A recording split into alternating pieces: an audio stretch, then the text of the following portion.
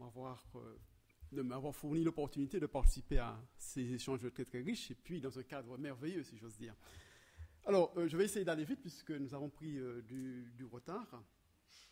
donc, mon, ma communication porte le titre suivant entre négation, prétérition et racialisation de l'identité, la race comme catégorie politique à la Martinique. Je vais partir euh, d'un constat banal. S'il y a eu des travaux d'anthropologues sur cette question, il y a euh, parmi nous euh, après-midi, dans le champ qui me concerne, celui de la science politique, eh c'est quasiment le néant absolu en dehors de la présentation hein, à laquelle nous avons eu droit grâce à Sébastien Nicolas tout à l'heure. Alors, le problème, c'est que dès lors, euh, il n'y a aucune étude, à ma connaissance, sur euh, les phénomènes de racialisation de la lutte euh, pour la conquête du pouvoir ou de racialisation des structures du pouvoir. souvent, on part d'un postulat donc infalsifiable et comme quoi ces éléments sont encore à l'œuvre, mais cela n'est pas toujours privé. Donc prouvé. Et donc euh, là, il y a un, angle mort, je dirais, euh, de, la recherche. Et euh, ce qui fait que finalement, le terrain est occupé par des vérités populaires hein, qui procèdent d'une conception de l'histoire en forme d'éternel recommencement ou de l'histoire immobile, et où simplement on constate par ailleurs une tendance à évacuer tout simplement la question de la part des politistes. Malgré tout, il y a un certain nombre euh, d'indices euh, qui peuvent euh, m'interpeller. J'en ai retenu très rapidement deux. Je rappelle que de manière très symbolique, un ancien candidat à la présidence de la République a proposé la suppression du terme race dans la Constitution et il l'a fait, cette proposition, lors d'un meeting à destination des ultramarins, comme on dit et que, alors ça c'est assez connu, on en a beaucoup euh, discuté, par ailleurs il a proposé dans le même discours une sorte de substitut fonctionnel à la notion de race, euh, celle de diversité. Euh, on ne parle plus de race, mais on va parler de diversité sans véritablement s'interroger sur l'articulation entre ces deux approches. S'agissant de la Caraïbe française, à la Martinique, alors il y a une, différence euh, avec euh, la Guadeloupe, hein, euh, après l'exposé notamment de, Sébastien. Ce que l'on peut observer, c'est que les catégories racialisantes ne sont pas directement reprises dans le débat politique. Et ça, c'est le moins que l'on puisse dire. Malgré tout, je voudrais nuancer. de temps en temps, et historiquement, ces catégories ont pu être reprises. Je rappelle que le député euh, Victor Sablé, qui pendant longtemps a siégé euh, à l'Assemblée euh, nationale, et ce, je crois, jusqu'à l'orée des années 80, eh bien, il était affublé du qualificatif député banane, par référence avec ses acquaintances supposées avec les béquets, le monde de béquets qui sont détenteurs de positions fortes hein, dans, le champ économique et euh, qui euh, également sont réputés avoir une certaine capacité d'action au niveau du gouvernement. En clair, les béquets ne pouvant accéder au pouvoir et à la représentation parlementaire, eh agissaient en quelque sorte par procuration en utilisant, en instrumentalisant des parlementaires noirs. Et puis, euh, l'autre euh, indicateur que je voudrais prendre, c'est une déclaration, fouillant un petit peu dans ma mémoire, j'ai retrouvé une déclaration célèbre euh, de Camille Darcière. Alors, qui est Camille Darcière? Ça mérite d'être rappelé ici. Camille Darcière, c'est un mulâtre qui est réputé avoir fait sa carrière politique dans l'ombre d'Aimé Césaire. Et euh, il a été secrétaire, pendant, pendant, longtemps, il a été secrétaire général du Parti euh, progressiste martiniquais. Un peu grisé par la double victoire euh, de la gauche à partir de 1981 en France et à la tête des institutions décentralisées à la Martinique, eh bien, il a dit, au milieu des années 80, je veux savoir ce que Becquet a dans le ventre.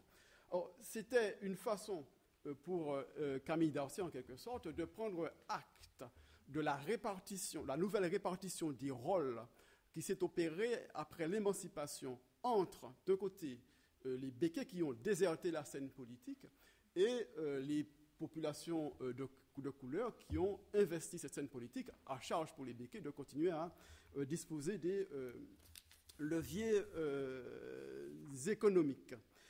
Alors, tout cela pour dire que malgré tout, et au-delà de ces euh, exemples, les euh, catégories euh, racialisantes apparaissent peu dans les débats politiques de la Martinique, sinon en toile de fond ou en filigrane des échanges politico-symboliques qui se déroulent, eux, en marge de la conquête directe du pouvoir. Et euh, je voudrais donc à ce point, à ce stade de, ma présentation, signaler euh, un, paradoxe très net entre, me semble-t-il, la persistance euh, de schèmes classificatoires qui continuent à structurer l'imaginaire collectif, aussi bien dans les, Outre-mer, en l'occurrence ici euh, la Martinique, que dans l'Hexagone. Alors, j'attire l'attention sur cette nouvelle appellation, n'est-ce pas? On ne parle plus de métropole, puisque c'est très fortement connoté. Et euh, donc, il y a euh, cette, forte, cette persistance de, ces schèmes classificatoires d'un côté, et puis de l'autre, leur effacement progressif dans le registre discursif des acteurs, comme dans celui des spécialistes des sciences sociales. Alors cela peut s'expliquer hein, euh, assez euh, facilement parce que de côté, on a la négation, cette négation de la race est en parfaite concordance avec le credo républicain de l'universalisme. Et puis il y a la, difficulté méthodologique à laquelle nous sommes constamment confrontés, c'est l'absence d'autonomie du terme race par rapport aux catégories langagières et qui, euh, catégorie langagière qui généralement fonde le, racisme et euh, suscite une certaine crainte, la crainte d'une certaine réification. Alors ici, je vais, dans cette communication, euh, dans la perspective constructiviste hein, qui nous est proposée, je vais appréhender la race comme une catégorie dynamique qui se forge à travers les relations sociales et politiques. Et en prenant euh, comme champ d'investigation, champ d'observation plus exactement, la société euh, martiniquaise. Et j'ajoute que bien des remarques que je pourrais faire cet après-midi pourront être étendues plus largement aux sociétés euh, antillaises. Et je voudrais montrer comment la race ainsi entendue sous-entend donc les échanges politiques et symboliques au sein euh, de euh, ces, sociétés, notamment, non pas tant pour dans, le cadre de la lutte pour la conquête du pouvoir, euh, qu'à travers des champs connexes à la sphère politico-institutionnelle proprement dite. Je vais parler ici notamment des mobilisations sociales et socio-écologiques, et, donc tous les conflits qui rythment la vie politique dans ces territoires. Dans un deuxième temps, je vais essayer de montrer euh, comment cette notion fuyante de, race réapparaît néanmoins dans les rapports complexes avec euh, la métropole, en particulier à travers les débats euh, qui agitent le milieu des migrants antillais, lesquels migrants sont confrontés, au-delà de cette fiction idéologique qu'est la race, aux effets sociaux bien réels qui, euh, à mon avis, ne devrait pas euh, être négligé par les chercheurs. D'abord, sur le premier point, la race dans les échanges politico-symboliques à la Martinique. Un, constat, d'abord, donc lié à, cet héritage hein, de la hiérarchie socio-raciale, je voudrais dire que s'il est vrai que la minorité béquée euh, à la Martinique, donc les Blancs créoles, euh, a disparu de la scène politique pour les raisons que j'évoquais de manière cursive tout à l'heure, ben, elle est réputée agir en sous-main sur la scène politique locale. Elle n'est pas directement euh, représentée. Le dernier euh, maire à la Martinique, c'était Jean Bali du côté du Carobin, mais il était très marginal au sein de, la minorité. Puis il y a eu aussi une tentative de rapprochement entre Bernard Petit-Jean Roger et notamment le, PPM dans les années 80, mais il a été lui aussi complètement marginalisé par le groupe Béquet. Donc, elle a disparu de la scène dans cette minorité, mais elle continue malgré tout à être présente sans véritablement l'être. Le béquet agirait par procuration et on en parle par prétérition. Et euh, il arrive d'ailleurs que son spectre continue à hanter non pas tant la scène politique que les campagnes électorales. Alors, euh, quelles que soient les appartenances politiques, on a tendance à se renvoyer euh, mutuellement, à se reprocher mutuellement les dîners avec le diable. Et c'est exactement ce qui s'est passé lors de la dernière campagne qui s'est déroulée en décembre 2015 euh, euh, à propos de l'élection de l'Assemblée de, Martinique. Donc il y a une espèce de, euh, mythologie qui révèle à quel point cette hiérarchie socio-raciale héritée de l'esclavage continue à imprégner les discours. Mais comme je le disais, c'est surtout à l'occasion des mobilisations connexes euh, au champ politique que l'on peut euh, observer la façon dont les, les, schèmes classificatoires continuent à repérer ou font euh, surface. Et ces mobilisations collectives permettent la réactivation des formes sociales passées. Je prendrai quelques exemples pour vous le montrer. Si on évalue rapidement les, conflits sociaux tels qu'ils se sont déroulés, euh, durant euh, l'entre-deux-guerres, eh bien, on se rend compte qu'il se caractérise par une très forte polarisation euh, socio-raciale, dans la mesure où ils opposent invariablement sur la scène politico-sociale des béquets à des ouvriers de couleur, lesquels sont systématiquement renvoyés à leurs conditions, entre guillemets, de nègres par la minorité béquée, qui procède ainsi à une sorte d'assignation à une identité euh, héritée. Et l'action protestataire, précisément, euh, de euh, ces ouvriers noirs vise, à mon sens, à faire appel du statut que les classements sociaux et ethniques, pour le moins pesants, donc faire appel de ces classements qui leur ont été assignés. Et cela revient d'une certaine façon, euh, pour un ouvrier noir à revendiquer des droits à caractère universel, mais aussi à combattre l'image méprisante du nègre que lui impose le regard euh, du béquet.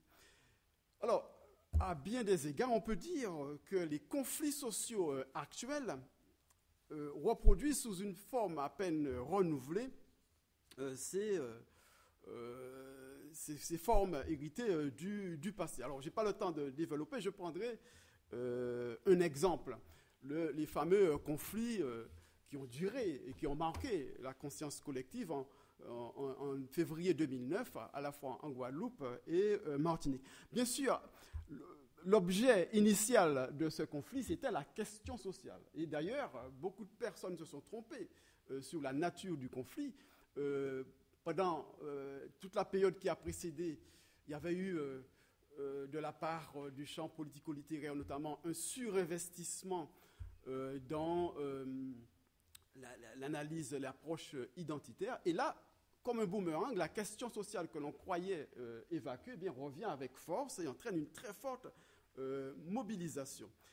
Mais en même temps, on peut voir que ces euh, conflits, aussi bien, là je parle surtout de la Martinique, mais c'est également vrai de ce point de vue pour la, Guadeloupe, euh, ces conflits ont, permis euh, d'établir un lien, d'attirer l'attention entre la pauvreté de certaines couches de la population, en particulier les Noirs, les, traitements discriminatoires dont ils sont historiquement l'objet, au regard donc de la République, et la prééminence des Blancs issus de la bourgeoisie locale. Il y a eu quand même cet affrontement euh, euh, durant euh, cette période. Et ça a été aussi l'occasion pour certains, pas tous les acteurs partie prenante au conflit, l'occasion de manipuler des symboles historiques qui sont dotés d'une forte capacité mobilisatrice. Et donc, ceci explique pourquoi, à l'occasion de ce concile, on est parti peut-être de la question sociale et on a pu glisser progressivement vers une forme de racialisation euh, des revendications et des rapports euh, sociaux. Donc euh, on est parti de la dénonciation de la profitation pour arriver donc à cette forme de dénonciation. Et d'ailleurs, le slogan qui a servi de bannière de ralliement durant ce conflit, hein, c'était aussi bien pour la Guadeloupe ou la Martinique, c'était la Guadeloupe, la Martinique, c'est en nous, Guadeloupe, Martinique, c'est Pataillou. Alors, tout dépend. Alors, en créole, hein, euh, il faut que je traduise peut-être. Euh, la Guadeloupe et la Martinique ne sont pas à eux. Euh, la Guadeloupe et la Martinique, c'est à nous. Et donc, bien sûr, personne n'a véritablement pris le risque de définir les contours du yo, c'est-à-dire eux. mais néanmoins, ce slogan a pu donner lieu à des euh, interprétations multiples et variées. Et à mon sens, il comportait euh, des euh, sorties multiples, puisque, quelque part, cela revenait à établir des classifications au sein de la population, ainsi qu'une distinction qui va être reprise, qui avait déjà été signalée par les élus eux-mêmes et qui va être reprise par la suite, une distinction notamment, quand je dis la suite, c'est notamment à travers euh, des conflits euh, syndicaux, entre originaires et non originaires. Donc, on voit bien là qu'il y a une, prudence de, langage. On ne nomme pas euh, la chose, mais on fait la distinction. Et en l'occurrence, ici, les non originaires renvoient très clairement aux métropolitains. Alors, la cause ici, c'était notamment l'affectation dans l'académie euh, des euh, jeunes qui avaient passé le concours sur place et qui étaient obligés de partir euh, pour commencer leur carrière dans l'Hexagone, alors que parallèlement, on accueillait des, des, Français donc, qui faisaient le chemin inverse. Donc, et ça, ça s'est souvent mal passé. alors, pour aller très vite, s'agissant des mobilisations collectives autour des conflits sociaux écologiques. Alors là, je m'inspire un petit peu du travail euh, récent d'un jeune docteur, qui s'appelle Malcolm Ferdinand, qui a soutenu euh, brillamment une thèse il y a quelques mois de cela. Et euh, il a exploré les conflits socio-écologiques à la Martinique, qui tendent aujourd'hui d'ailleurs à se substituer, pas substituer, mais qui viennent renforcer une longue tradition, je dirais, de conflits sociaux. Il a montré que ces conflits socio-écologiques sont le lieu où s'articulent un discours environnemental, une idéologie euh, anticoloniale et une revendication euh, identitaire, le tout sous-tendu par euh, un sens du rapport à la terre, la terre qui joue un rôle très important dans ces territoires. Et il montre que ces conflits prennent aussi la forme de lutte pour préserver la richesse la valorisation de la culture euh, créole, et cela va de pair avec la dénonciation rhétorique de l'alliance entre l'État local et la minorité euh. Ça, c'est un grand classique hein, de, ce point de vue-là. D'autant que, bien sûr, le décor se complique euh, de la présence d'un troisième acteur, le blanc, le blanc, pas le béquet cette fois-ci, mais le blanc euh, métropolitain qui, lui, incarne la haute fonction euh, publique. Alors, il y a une association à la Martinique qui est bien connue, qui est très active, qui s'appelle l'ASOPAMA, l'association pour la préservation du patrimoine de la Martinique. Alors, patrimoine doit être entendu ici dans un sens très large. Ce n'est pas simplement le patrimoine physique matériel, mais aussi la diversité culturelle, la richesse culturelle euh, du euh, pays. Cette association s'est livrée à de multiples luttes qui, mettent en scène quelque part des militants euh, écologistes d'un côté, et puis de l'autre, l'administration de l'État et les membres du groupe Béquet. Alors, il y a eu des conflits célèbres du côté de Génipa, pour l'installation d'un supermarché avec, sous la roulette de, de Béquet, non moins célèbre à la Martinique, la plus grande richesse de la Martinique, l'une des plus grandes richesses de France d'ailleurs, Bernard Ayotte. Mais Malcolm Ferdinand attire l'attention très subtilement sur le fait que ces luttes en même temps développe une conception euh, exclusive de l'identité euh, du euh, Martiniquais, en prenant le risque de, l'enfermer dans le statut de descendant d'esclaves noirs africains. Donc il y a là une stratégie, un usage stratégique de la race, de la race qui repose sur la confusion entre le registre biologique et le registre politique. Alors, je vais terminer, il me reste combien de temps? Minutes, alors je vais résumer euh, plus exactement. Le dernier point euh, que je voulais euh, aborder, qui, que j'ai appelé très rapidement, de la stratégie d'invisibilité à l'ambiguïté de la diversité, les migrants antillais dans, dans l'Hexagone. Alors, de quoi s'agit-il? Donc là, des, relations un peu complexes, comme je l'ai indiqué, entre ces migrants et leur, territoire, leur terre d'accueil. Euh, pourquoi ils sont confrontés à cette espèce d'injonction paradoxale qui est finalement l'assimilation, euh, qui est euh, constitutive de, ces relations. Parce que l'assimilation, en gros, je n'ai pas le temps de développer malheureusement, au fond, ça revient à exiger un résultat qu'elle suppose a priori être impossible à obtenir. C'est ça le paradoxe de, l'assimilation tout au long de l'histoire de euh, ces euh, Antillais. Alors, comment ces Antillais vont-ils réagir par rapport à ça? Les travaux de mes collègues et amis Claude Valentin, Michel Giraud et Audrey Célestine montrent très clairement que dans l'histoire de cette migration dont l'un des repères majeurs, c'est la mise en place donc, du Bimidom, on peut euh, observer deux phases. Il y a une première phase euh, qui euh, correspond à une sorte de prise de conscience brutale de la portée de la célèbre formule d'Aimé Césaire, savoir que eh bien, les Antillais sont, c'est vrai pour tous les Outre-mer, les Antillais sont des citoyens entièrement à part, parce qu'ils se trouvent confrontés, en dépit de la citoyenneté, à une insertion dans la migration, une insertion professionnelle précaire. Euh, ils font partie des catégories sociales les plus euh, défavorisées. Et c'est une réalité qui, je dois dire, une réalité que cache mal euh, l'irruption de la notion de minorité visible, qui renvoie, elle, davantage à l'idée de, de, phénotype, de couleur de la peau, alors qu'il y a aussi à la clé ici une certaine forme euh, de domination euh, sociale.